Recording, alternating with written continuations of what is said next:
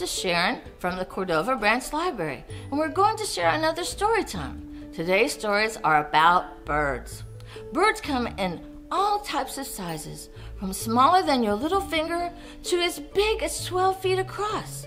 And birds live on every continent in the world. So there's lots of great birds to tell stories about. But before we start, you know we have to have our morning song. Here we go. We wave and sing hello. We wave and sing hello. With the friends of story time, we wave and sing hello. We wave and sing hello. We wave and sing hello. With the friends of story time, we wave and sing hello. Good job. Thanks for singing with me. Our first story is Bluebird's Nest. It's by Dorothea D'Aparicio. One morning, Bluebird sat on a fence post thinking about her new project. She watched the leaves fall and sang a lovely song ready to begin. First, the bluebird gathered some bendy pine needles from the ground. She placed them in a hole in a nearby tree. Then a woodpecker offered Bluebird some loose bark from the tree. She added it to her collection of pine needles. An eagle flew by and dropped some feathers down to the bluebird. She chirped, Thank you, before weaving them into the bark. During the winter, the bluebird continued to build her home. Other forest animals helped when it was cold. Bluebird sat on her nest all through the winter. She ate and slept and trimmed her feathers every day. One warm morning, the sun shone brightly in the meadow. Spring had sprung, and Bluebird's nest was now complete. And just in time, she welcomed her family with a beautiful song. The.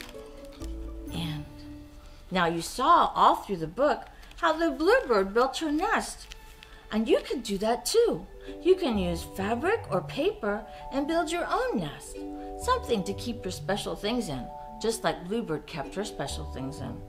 It's an idea, and it might be fun. There we go. The end. Okay. Our next story is about a very silly bird named Confetti. It's by Kali Stileman. Let's see what this silly bird is doing.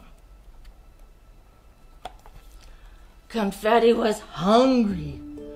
Really, really hungry. I'm hungry, said Confetti to Jemima Giraffe. I love to eat luscious, lip smacking leaves, said the giraffe. Try some. Yum, said the giraffe. Oh, yuck, said Confetti. I'll keep trying somewhere else. I'm hungry, said Confetti to the Zoe zebra. I like to eat green grass, said the zebra. Try some. Yum, said the zebra. Yuck, said Confetti. I'll keep trying. I'm hungry, said Confetti to Emma Elephant. I eat lots and lots of fabulous fruits and vegetables, said the elephant. Try some. Yum, said the elephant. Yuck, said Confetti. I'll keep trying. I'm hungry, said Confetti to Christopher Crocodile. So am I, said the crocodile. Well, maybe not that hungry, said Confetti, and she flew on her way. Said Confetti to Madison Monkey. I eat delicious, delicious nuts, said the monkey. Try some. Yum, said the monkey. Yuck, said Confetti. I'll keep trying. Confetti's mom came home with a wiggly worm, a beautiful beetle, a greedy spider, a creeping, clawing caterpillar, and a skinny stick insect. Yum, said Confetti. Yuck, said the other animals.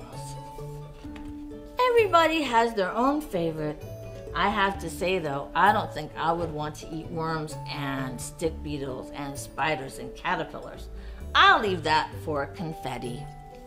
The end. Now, this is my very favorite bird story of all time. And I'm so excited to share it with you today. Here we go. I'm a little baby bird wondering how to fly. See my grandma in the sky. Why can't I? Why can't I? I see my grandpa in the sky. Why can't I? Why can't I? Mama whispers, hush a bye. By and by you'll fly. Daddy sings a lullaby. By and by and by. Sister says, why don't you try? Flap your wings and try. So I flap my wings and try. And soon I'm in the sky. Look at me, way up high. I can fly. I can fly. Below me is a baby bird. She sees me in the sky. I can almost hear her sigh. Why can't I? Why can't I? Down, down, down, way down I fly and say, Why don't you try? I watch her flap her wings and try. And soon she's in the sky. Look at us, way up high. We can fly. We can fly. Below us, baby birds call, Why? Why can't I? Why can't I? Hush a bye, we tell them. Hush a bye. You will fly. You will fly. You will fly by and by by and by and by. The end. Have you ever wondered how they fly? I have. I've often wondered if I could fly, but I don't think I can. But it's fun to imagine things like that. Now, we don't have time for a craft today, but I brought one to show you that you can do at home. You can make a bird feeder to hang in a tree. All you need is one paper plate and a half a paper plate and hang it by some string. Then you can hang it on the string and watch the birds eat from the bird feeder that you made. Now, I decorated one to show you, but of course yours will look much better. See, this is mine. You could put the bird seed right inside and they'll eat it. And since it's made out of paper plates and cotton string, you don't have to worry about pollution because it'll take care of itself. And when it starts to fall apart, you can pick it up, put it in the recycling bin, and make another one. Birds love to eat everything worms and caterpillars. I don't think so. But the bird seed in the bird feeder will feed them just fine. That's all. Thank you for joining us. Now, let's finish with a goodbye song. Here we go. Open them, shut them, Open them, shut them. Give a little clap, clap, clap. Open them, shut them. Open them, shut them. Lay them in your lap, lap, lap. Roll them, roll them, roll them, roll them. Roll them just like this. Shake them, shake them, shake them, shake them. Blow a little kiss. Open them, shut them, open them, shut them. Try to touch the sky. Open them, shut them, open them, shut them. Time to wave goodbye. Goodbye. Thanks from the Cordova Library and your Memphis Public Library. And we'll share stories again soon.